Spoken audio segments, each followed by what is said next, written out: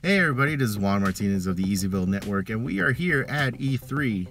I am going to be walking to the show floor now. Uh, this is further than I usually park at because I guess it's open to the public now. Good times. So enjoy this uh, tour of E3, everybody. So, unfortunately, due to circumstances beyond my control, I won't be going to the third day of E3. So, here is my Instagram story recap of the show. I made a video where I said I would be wearing three days of uh, Adidas sneakers, Boost sneakers. I won't be able to do that, unfortunately, but there was my first day where I called it hashtag E3 Stripes. Uh, here's me going up to the show floor.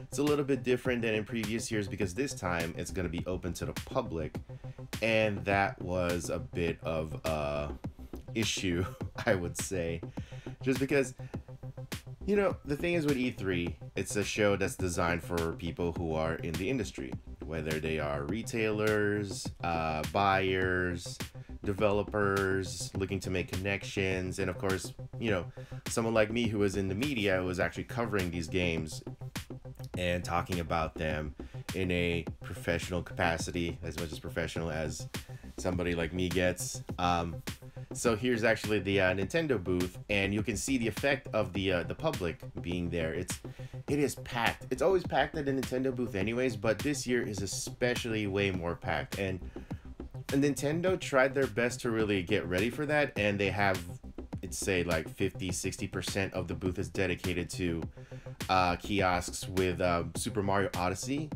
but the lines were still unbelievably long. Um, it took me about an hour and a half just to play the game, and that was just because I was playing on the actual Switch itself.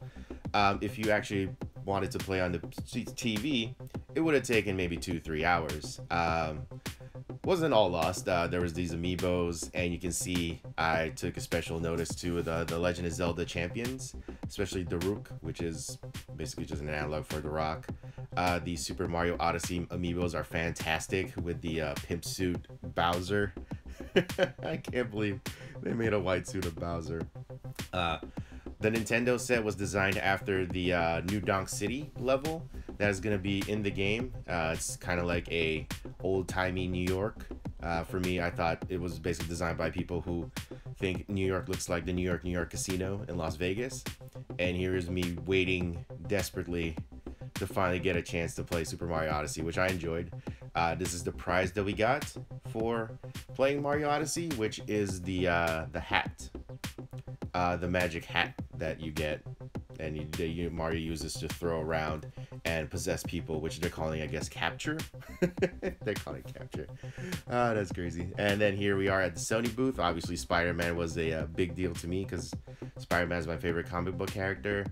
PlayStation booth, as expected, was very crowded. Uh, not as much as the Nintendo one because they had their uh, PlayStation app where people could actually book times to actually go to play. Uh, here's the Gran Turismo set where they had people play uh, VR version and also a uh, simulator version, which is always a staple of E3.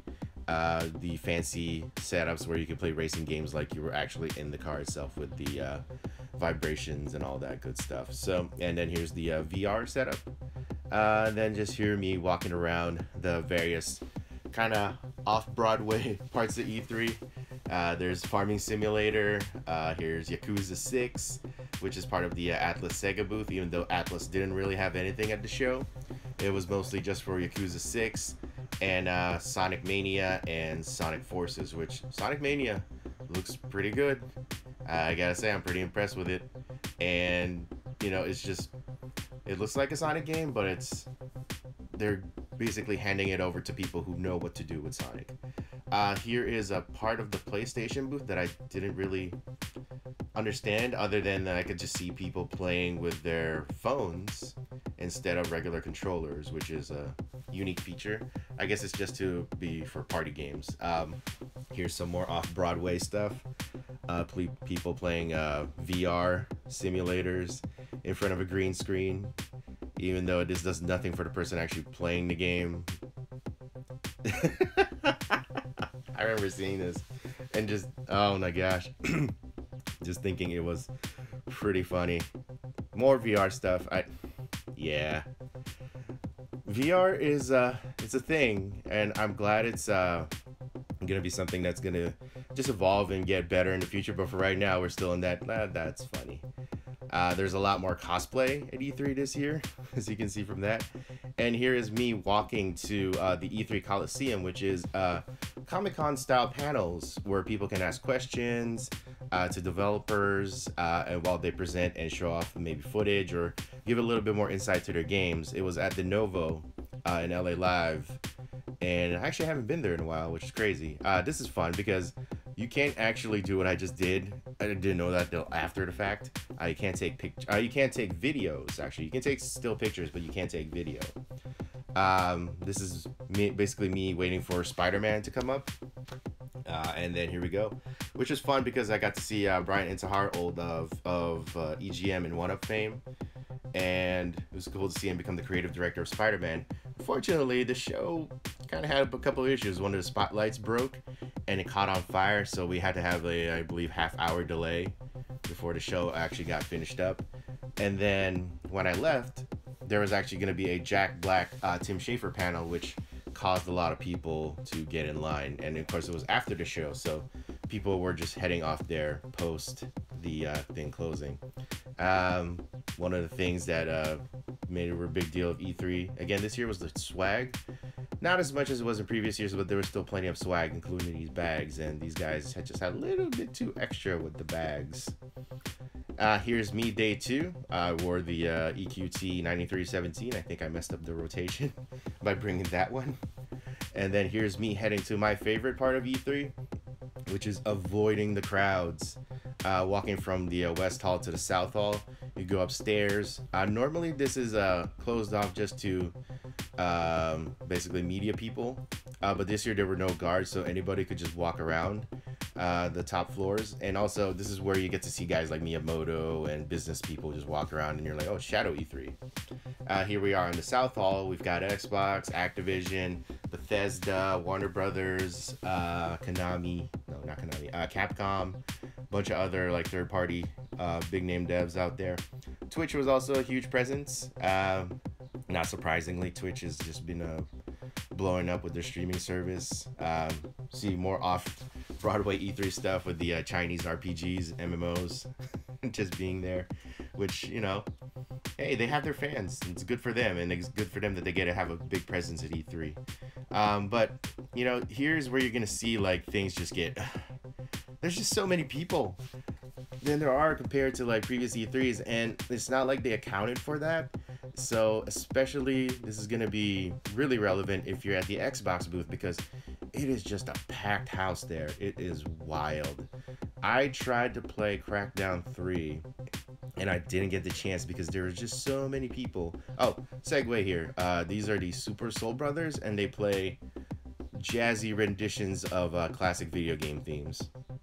They're playing the Lost Woods theme right now, which is awesome. It was really good. I thought it was great. Um, I think uh, this is the Ubisoft uh, booth. Uh, they had South Park, Far Cry 5, uh, Super Mario. Oh no, uh, I'm sorry, Mario and Rabbids, which I got to play for a little bit, which is fun. Uh, the Bandai Namco booth, Ni no Kuni 2, got to play the uh, Dragon Ball Fighter Z game. Uh, there's Bethesda, quick look right there, uh, with their uh, Wolfenstein 2 demo. So you'll see here, uh, Fighter Z is it's fun. It just looks like a Dragon Ball cartoon, which is as close as it's been so far. Um, here's some more look at the uh, Ubi booth, and then there's uh, Project Cars 2, which no surprise, there is a car uh, right in front for people to take fancy pictures with. Uh, here's the uh, the Harvest Moon booth, which is a yearly tradition. Fortunately, there's no big cow this year, but they did have a, a swag shop where you could buy various uh, characters from the Harvest Moon franchise, which I never realized there were so many. Look at all those games. That is nuts. Uh, here's a Capcom booth, and we are passing through the history of Street Fighter in reverse. So there's 5, 4, 3, Alpha, 2, and the original. My god, it's been 30 years. I, yeah, no, that's crazy. And then here we have people playing Street Fighter 5, even though that game's out. That's why would you go there if the game's already out? And then here's uh, Marvel Capcom Infinite.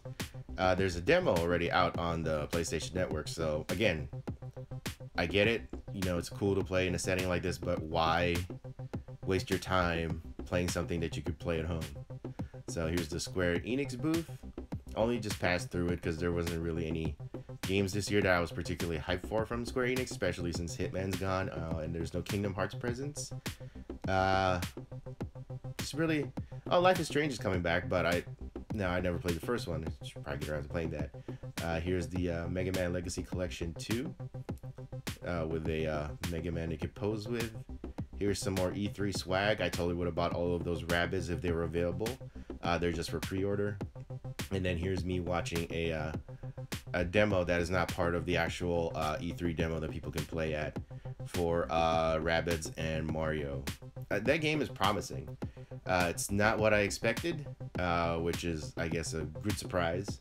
Um, it's it plays like they like to say it's XCOM, so there's a bit of a strategy involved where you're trying to avoid getting hit by enemies, and then you're strategically placing yourself so you can, you know, hit them as well.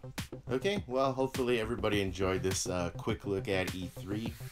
Uh, like I said, I might not be able to make it to day three, so this is gonna have to do for now. Uh, here's my recap through my Instagram story, which you can find on ezyville. Uh, everything is ezyville, pretty much me on the internet. So, uh, thanks for watching, everybody. You can learn more about the ezyville Network by going to Patreon.com/slash ezyville. Subscribe to that. It's the way we keep the channel going. And yeah, this is Juan Martinez of the ezyville Network, and I suffered through E3 2017. Let's just have a public day. Please, E3, give them a public day next year. Thanks for watching, everybody.